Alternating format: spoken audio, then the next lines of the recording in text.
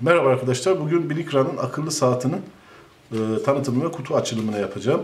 Öncelikle şunu söyleyeyim. Bu akıllı saatler ne işe yarıyor? Akıllı saatler özellikle e, çalışan aileler için e, çok kullanışlı. Yani çocuğun e, siz çalışıyorsunuz, çocuğunuzu sabah okula gönderiyorsunuz ama mesai saatleri içerisinde çocuğunuzu göremiyorsunuz, yanında olmuyorsunuz. İşte çocuğunuz ne yapıyor? E, nerede? Herhangi bir sorunu varsa telefonla arayıp söyleyebiliyorsunuz. Telefon gibi kullanılabiliyor. Sizi arayıp size e, söyleyebiliyor. Mesaj atabiliyor. Tabi bu mesaj attığı kişiler bel, belirled, kendinin e, sizin belirlediğiniz kişiler. Yani telefon uygulamasında rehberinde ayarladığınız numaralar. Onu da göstereceğim size özellikle. Size gönderebiliyor. E, daha sonra GPS'ten takip edebiliyorsunuz. Kendine 200 metre ile 2000 metre arasında bir bölge belirleyebiliyorsunuz. O bölgenin dışına çıktığında telefon, saat size uyarı gönderiyor ee, dediğim gibi yine SOS tuşu var yan tarafta. Herhangi bir çok acil durumlarda oraya konuşamadığı ya da zor durumda olduğu Allah göstermesi böyle bir durumlarda SOS tuşuna basıp size uyarı gönderebiliyor. Tehlike, tehlikede olduğuna dair. Ee, çok kullanışlı bir şey. Ee, şöyle biz bunu e, bir telefon firmasından aldık. 550 TL'ye. Ee, 550 TL kendisi. Bir de 20 TL'lik bir hat aldık buna. Bir operatör attı. 20 TL'de ne var? 250 dakika ve 250 MB internet var. İnternetin olmasının sebebi GPS'in e, kullanılması. GPS kullanıldığı için internet gerekiyor. Yani ayda, ayda 70 TL ödüyoruz. 12 ay sürecek bunun ödemesi. Bize bu fiyata geldi. Şimdi kutusunu açalım.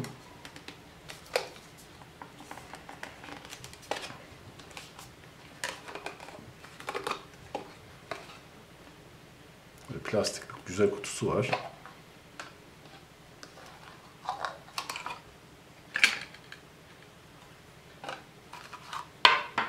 İçinden bir tane USB kablosu çıktı. Ee, başka bir şarj için herhangi bir aparat çıkmadı. Zaten ben biraz araştırdım. Ee, şarj aparatları bunun e, bunun, bunun bataryasını e, iyi sağlıklı şekilde doldurmuyor.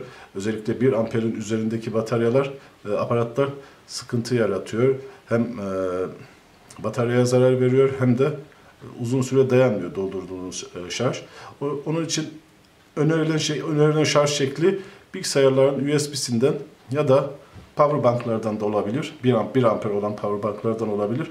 Ama bilgisayarınız varsa bilgisayarın e, şarj şey, pardon USB girişinden kolaylıkça kolaylıkla şarj edebilirsiniz.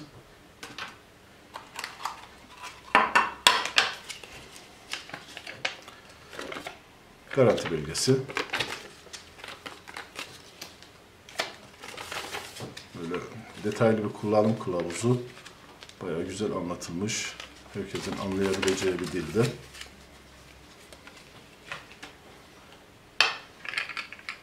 Saatimiz bu arkadaşlar.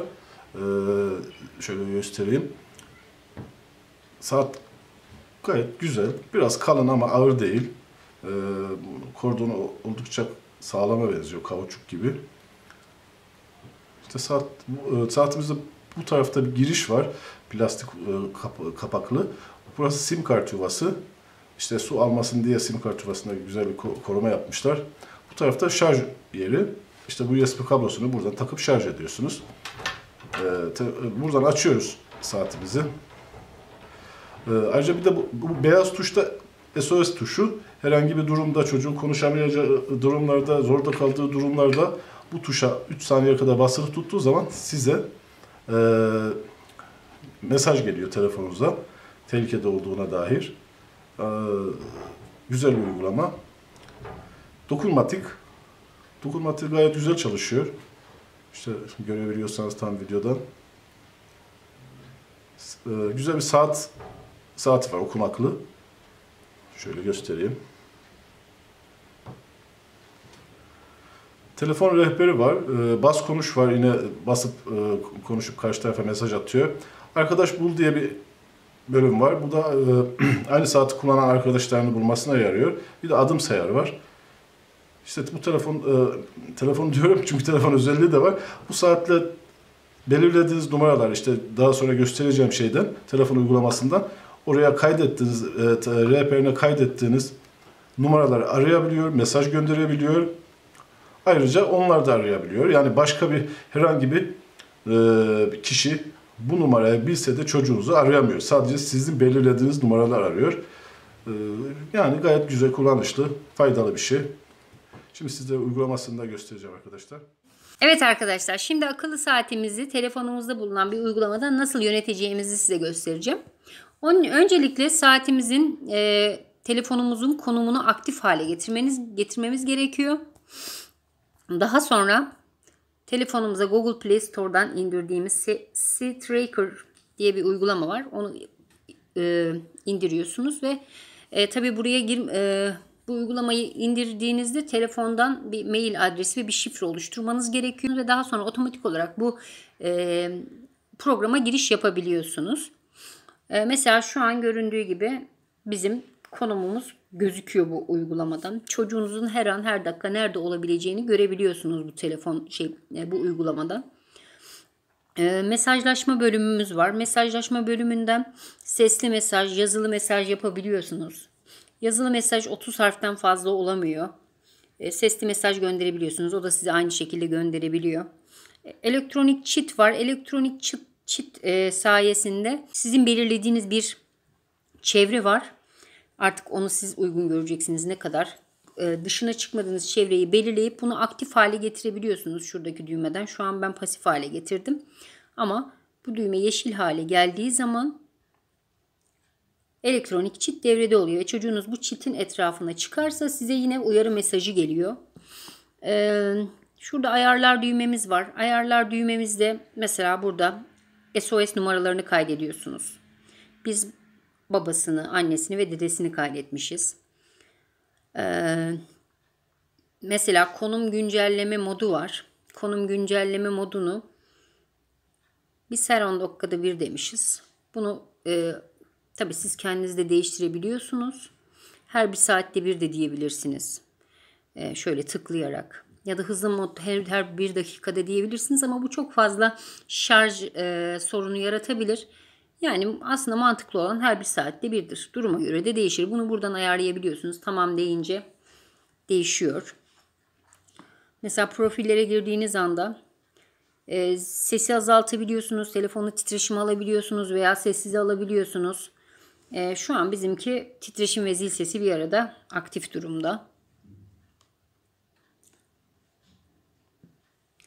Evet, uyarı bildirim ayarları diye bir bölüm var. E, bu bölümde mesela düşük pil uyarısı verdiği zaman e, size çocuğunuzun şarjı bitiyor. Size uyarı geliyor veya çocuğunuz size acil bir durumda SOS verdi. Bu durumda yine uyarı geliyor. Ayrıca SOS verdiği anda size bir e, konum gönderiyor ve o konuma tıklayarak çocuğunuzun nerede olduğunu görebiliyorsunuz. Ve çocuğunuz eğer saati kolundan çıkarırsa bunun uyarısını da veriyor size e, saatimiz. Ve buradan onun e, ayarını yapabiliyorsunuz. Tamam. Evet şimdi Mesela telefon rehberi. Telefon rehberimize en fazla 15 kişiyi kaydedebiliyorsunuz. Çocuğunuz sizin saatine kaydettiği numaralar dışında herhangi bir numarayı arayamıyor veya başka biri ona bu numaradan ulaşamıyor. E, sizin kaydetmeniz gerekiyor ve karşıdakinin de çocuğun numarasını kaydetmiş olması gerekiyor iletişim halinde olabilmesi için. Saat ve tarih bölümünü buradan ayarlayabiliyorsunuz. Mesela Türkçe, Tamam diyorum. Ayarlamasını yapıyorum. Evet. Arama ayarlarımız.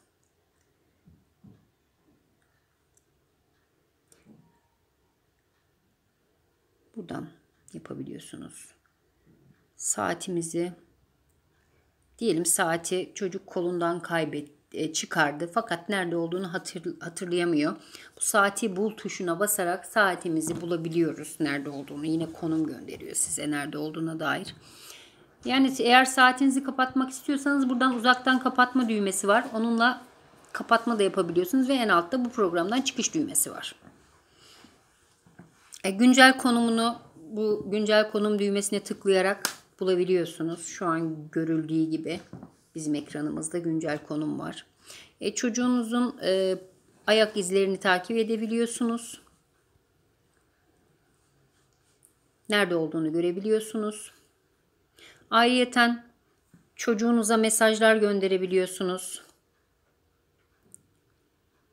Mesela bu geçmiş mesajları gösteriyor bize. Şuradaki ayar düğmesine basarak. Rahatsız etmeyiniz diye bir yer var. Diyelim çocuğunuz derste belli bir saatleri ayarlayarak o saatlerde aranmasını engelleyebilirsiniz ders saatlerinde. Veya çocuğunuza o gün e, sizinle alakalı bu saati çok güzel kullandı. Kalp gönderebilirsiniz istediğiniz kadar. Bu da ona ödül oluyor.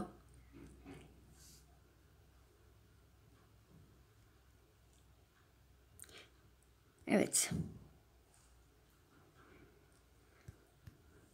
Saatimizle alakalı bu e, telefon programıyla ilgili söyleyeceklerim bu kadar. Kanalımıza abone olup beğenilerinizi göndermeyi unutmayın. İyi günler.